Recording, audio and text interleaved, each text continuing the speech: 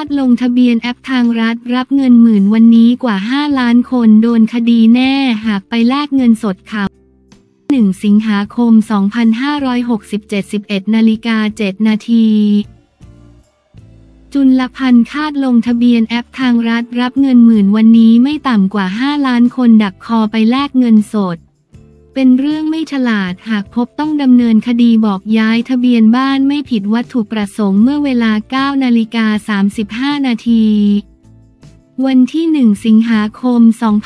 2567 ที่รัฐสภานายจุลพันธ์อมรวิวัฒน์รัฐมนตรีช่วยว่าการกระทรวงคลังแถลงถึงการเปิดลงทะเบียนเงินดิจิทัลวอลเล็ตผ่านแอปพลิเคชัน ทางรัฐ วันแรกว่าเริ่มเปิดให้ลงทะเบียนตั้งแต่เวลา 8 นาฬิกา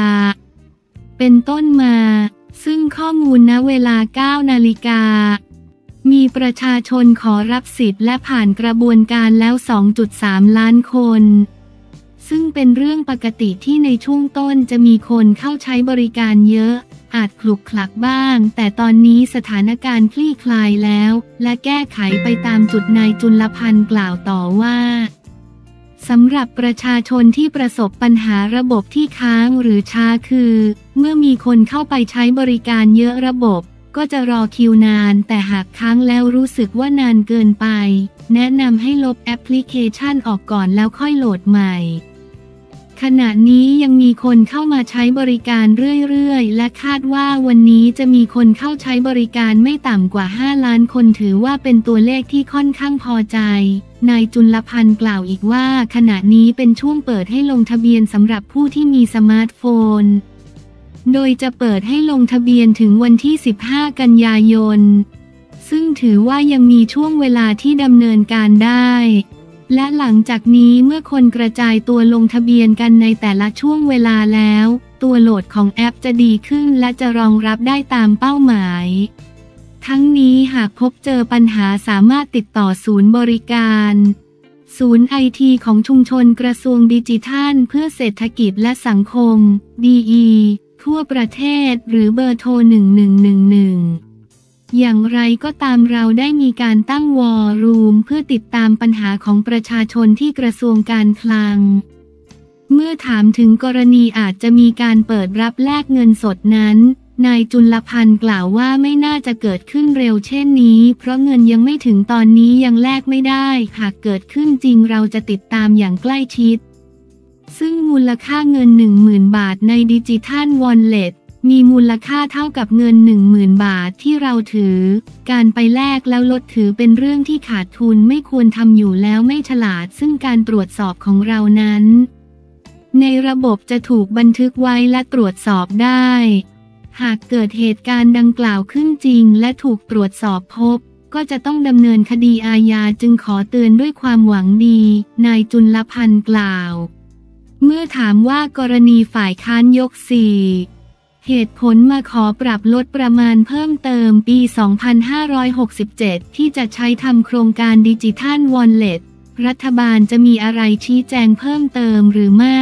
นายจุลพันธ์กล่าวว่าชี้แจงไปหมดแล้ว ซึ่งทั้งหมดเป็นกระบวนการที่รอบคอบจากหน่วยงาน หลายหน่วยงานและมีการดำเนินการที่ถูกต้องตามกฎหมาย ส่วนข้อห่วงใยก็สามารถมีได้ในเรื่องต่างๆ ทั้งเรื่องของเม็ดเงิน อย่างไรก็ตามย้ำว่ารัฐบาลจะดูแลอย่างรอบคอบเพื่อไม่ให้เกิดปัญหา นายจุลพันธ์กล่าวต่อว่า ส่วนในมิติที่บอกว่าเราใช้นโยบายทางการคลัง มากระตุ้นเศรษฐกิจนั้นก็เป็นห่วงความยืดหยุ่นของนโยบายทางการคลัง แต่ในข้อเท็จจริงคือนโยบายทางการคลังมีความยืดหยุ่นมากกว่าที่ท่านคิด สามารถรองรับกรณีใด ๆ ในการบริหารจัดการราชการแผ่นดินได้อยู่แล้ว ไม่มีปัญหา ไม่มีความเสี่ยงและไม่ได้อยู่ในจุดที่น่าห่วง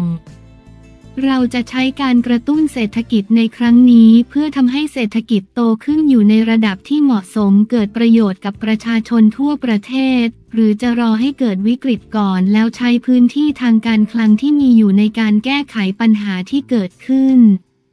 วันนี้รัฐบาลเลือกที่จะป้องกันไม่ให้เกิดปัญหาวิกฤตที่เกิดขึ้นด้วยการกระตุ้นเศรษฐกิจในครั้งนี้ นายจุลพันธ์กล่าว เมื่อถามถึงการย้ายทะเบียนบ้านนายจุลพันธ์กล่าวว่า กลไกการย้ายทะเบียนบ้านเป็นเรื่องที่สามารถดำเนินการได้โดยประชาชนอยู่แล้ว หากต้องการใช้เงินในพื้นที่ที่อาศัยอยู่ ที่ไม่ใช่บ้านเกิด ซึ่งโครงการนี้คร่อมระยะเวลาเป็น 6 เดือนสามารถย้ายทะเบียนบ้านได้ แต่โครงการนี้เราจะล็อกวันที่ลงทะเบียน นั่นคือทะเบียนบ้านที่ท่านบันทึกไว้สำหรับการใช้เงินในโครงการนี้อย่างไรก็ตามไม่มีการอนุโลมไม่ว่ากรณีใด ๆ เมื่อถามว่าหากย้ายทะเบียนบ้านจะผิดวัตถุประสงค์หรือไม่ นายจุลพันธ์กล่าวว่าไม่ในข้อเท็จจริงหากคนตัดสินใจเช่นนั้น ท่านเป็นประชากรแฝงอยู่ในพื้นที่ของกรุงเทพมหานคร และไม่คิดว่าคนทุกคนจะย้ายเข้ามาอยู่ในกรุงเทพมหานคร หมด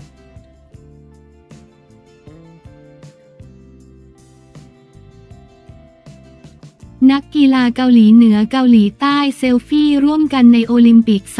2024 ปารีส เกมวันที่ 1 สิงหาคม 2567 11นาฬิกา 16 นาทีซีนประวัติศาสตร์ นักกีฬาปิงปองทีมชาติเกาหลีเหนือ และเกาหลีใต้เซลฟี่ร่วมกันหลังจบการแข่งขันในโอลิมปิก 2024 ทำทั่วโลกชื่นชมเป็นที่ทราบกันดีว่าความขัดแย้งระหว่างเกาหลีเหนือและเกาหลีใต้นั้นมีมาอย่างยาวนานกว่า 70 ปีและไม่มีท่าว่าจะยุติลงได้ง่าย ๆ แม้จะมีการพยายามสารสัมพันธ์หลายครั้งก็ตาม ล่าสุดเกิดภาพที่ทำให้โซเชียนใจฟู เมื่อลิมจองฮุนและชินยูบินนักกีฬาปิงปองทีมชาติจากเกาหลีใต้ ถ่ายภาพเซลฟี่ร่วมกับ นักกีฬาปิงปองทีมชาติจากเกาหลีเหนือ กุมมยองและรีจองซิกภาพนี้ได้รับการยกย่องว่าเป็นช่วงเวลาแห่งความเป็นมิตรภาพไร้พรมแดนและการเมือง เป็นตัวอย่างของพลังของโอลิมปิกในการรวมผู้คนเป็นหนึ่งด้วยกีฬา อย่างไรก็ตามนักกีฬาปิงปองเกาหลีเหนืออย่าง คิมกุมยองและรีจองซิกเป็นมือวางอันดับ 16 ซึ่งคว้าเหรียญเงินมาได้หลังจากพลิกสถานการณ์เอาชนะญี่ปุ่นและฮ่องกง ได้สิทธิ์เข้ารอบชิงชนะเลิศกับจีนซึ่งเป็นทีมอันดับหนึ่งที่คว้าเหรียญทองมาได้รีจองซิกและคิมกุมยอง นี่ถือเป็นโอลิมปิกครั้งแรกของเกาหลีเหนือนับตั้งแต่ริโอในปี 2016 หลังจากที่ไม่ได้ลงแข่งขันในโอลิมปิกที่โตเกียว ซึ่งต้องเลื่อนออกไปเนื่องจากโควิด -19 ขณะที่ทีมชาติเกาหลีใต้อย่างลิมจองฮุนและชินยูบินตกชั้นไปชิงเหรียญทองแดงหลังแพ้ให้กับหวางชู่ชินและซุนหญิงซา นักปิงปองฝีมือฉกาจของจีนนับเป็นเหรียญรางวัลปิงปองเหรียญแรกของเกาหลีใต้ตั้งแต่โอลิมปิกที่ลอนดอนในปี 2012 ชินยูบินและลิมจองฮุนสำหรับลิมเหรียญรางวัลโอลิมปิกถือเป็นผลประโยชน์ตามกฎหมายของเกาหลีใต้ เขาจะได้รับยกเว้นการเกณฑ์ทหารเป็นเวลา 18 เดือน ซึ่งจะเริ่มบังคับใช้ในอีกไม่กี่สัปดาห์หลังจากที่เขากลับจากการแข่งขันโอลิมปิกที่มา เอนเปอร์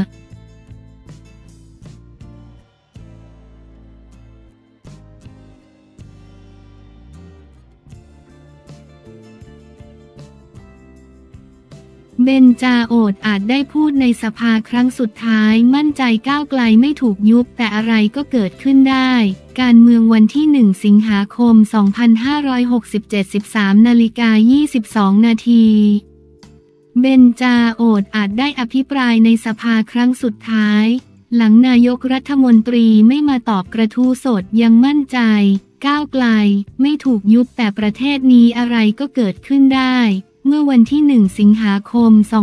2567 ที่รัฐสภาในการประชุมสภาผู้แทนราษฎรมีนายปอดิพัฒน์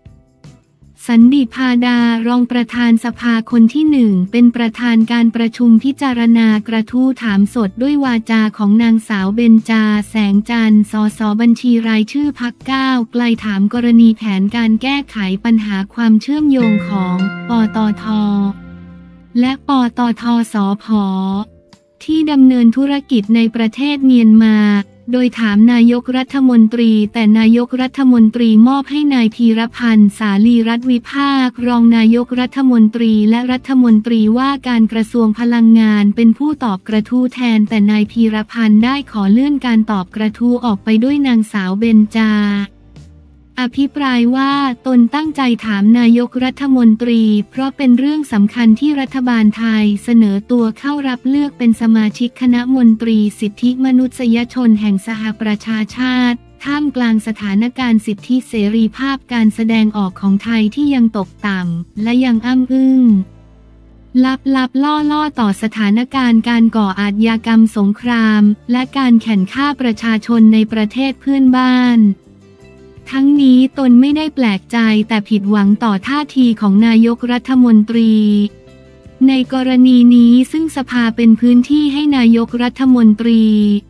ได้ชี้แจงต่อประชาชนและสังคมโลกพักก้าวไกลเองมีคดีอยู่ที่ศาลรรัฐธรรมนูญ และจะมีการวินิจฉัยในวันที่ 7 สิงหาคมนี้แม้ดิฉันจะเชื่อมั่นในข้อต่อสู้ของพักว่าจะไม่ถูกยุบพักตามที่สังคมตราไว้ แต่อะไรก็เกิดขึ้นได้ในประเทศนี้ การอภิปรายครั้งนี้จึงอาจเป็นครั้งสุดท้ายในสภาก็เป็นได้ นางสาวเบนจากล่าวจนถึงวินาทีนี้ตนไม่ได้เสียดายเลยที่อาจไม่ได้ทำหน้าที่ในสภาแห่งนี้ต่อไป แต่จะเสียดายที่ดิฉันไม่สามารถแสวงหาหนทางสร้างสันติสุขให้กับเพื่อนมนุษย์ได้ ไม่สามารถเป็นส่วนหนึ่งในการฟื้นความเป็นประชาธิปไตยให้ไทยและประเทศเพื่อนบ้านได้นางสาวเบนจากล่าวต่อว่า จะมีโอกาสสักกี่ครั้งที่จะสามารถช่วยเหลือเพื่อนมนุษย์ได้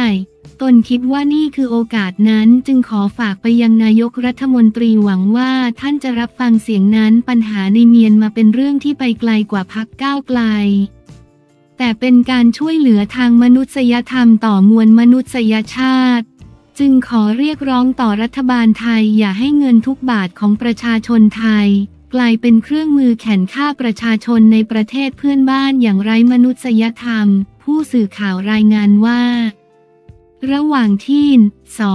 เบนจา อภิปรายมีสด พักเพื่อไทยลุกขึ้นประท้วงเช่น นายวิสุทธ์ชัยนรุนสอสอบัญชีรายชื่อ และประธานวิปรัฐบาล และนายชัยวัฒนาตินรัตน์สอสอมหาสารคามขอให้นางสาวเบนจา ระมัดระวังในการกล่าวถึงประเด็นที่พาดพิงต่างประเทศ และหากจะพูดถึงเรื่องนี้จริงก็ควรเป็นการประชุมแบบลับ